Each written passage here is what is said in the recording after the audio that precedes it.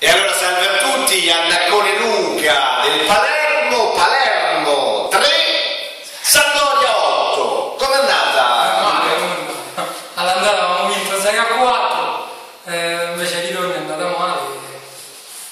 Vabbè, in Europa League ci stiamo, abbiamo superato, Beh, adesso- abbiamo superato il Cagliari, l'importante è quello. Siete pronti ovviamente per l'Europa League, ultima partita l'avete con, Con Bologna, con un'altra Bologna.